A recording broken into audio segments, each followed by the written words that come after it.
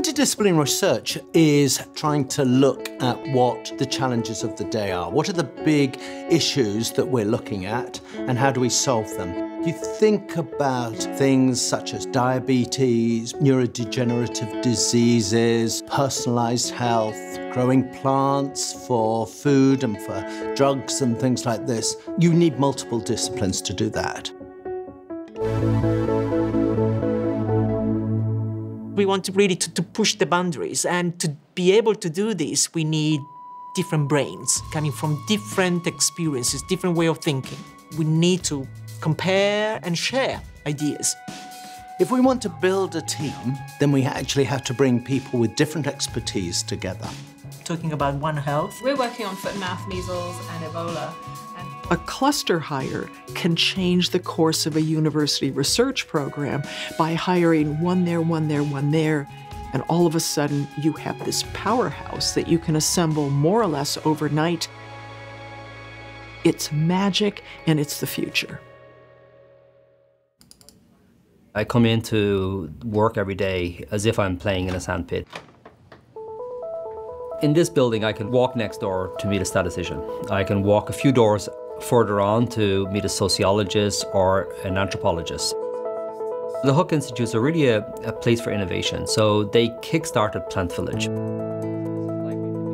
Eight years later, we are engaging across an array of individuals and institutions globally. So in a sense, we've made the sandpit global.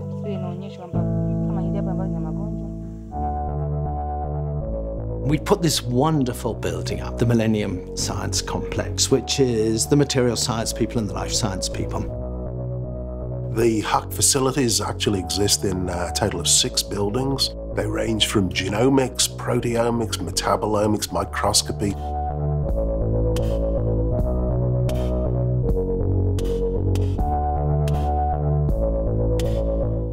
corporate partners uh, come in to use our facilities as well because we have cutting edge technology, cutting edge research, and scientists of world class caliber.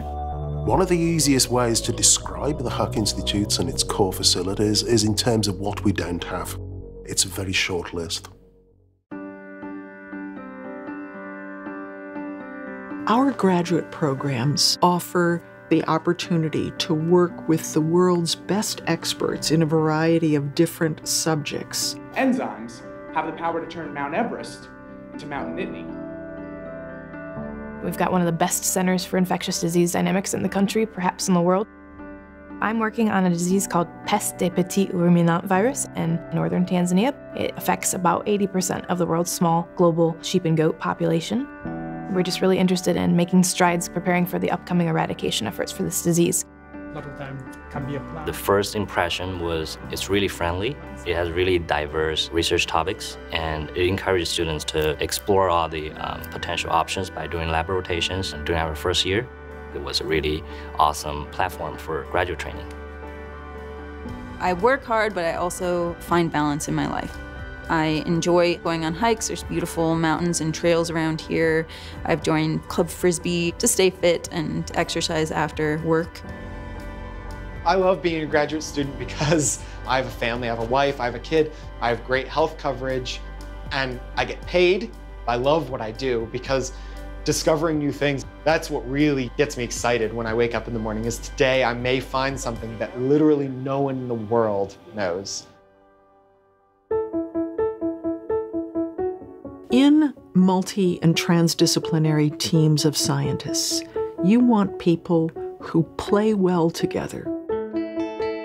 And having all these people together in the same place is really important when you're trying to solve complex, multi-layered problems in global health, epidemiology, or infectious disease.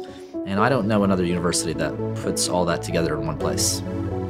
The Huck really enables me to do research at various scales, from the small all the way to the big, they're really preparing me for just about any kind of career broadly, and I'm, I'm really thrilled about that. The technology that we have now means that the limiting factor in terms of what you can do in your research is your own imagination. Penn State is really rocking. We're doing the most remarkable things here. We've got the instruments, we've got the faculty, we've got the environment to do that. Come here and you will see it. Come and be part of our team.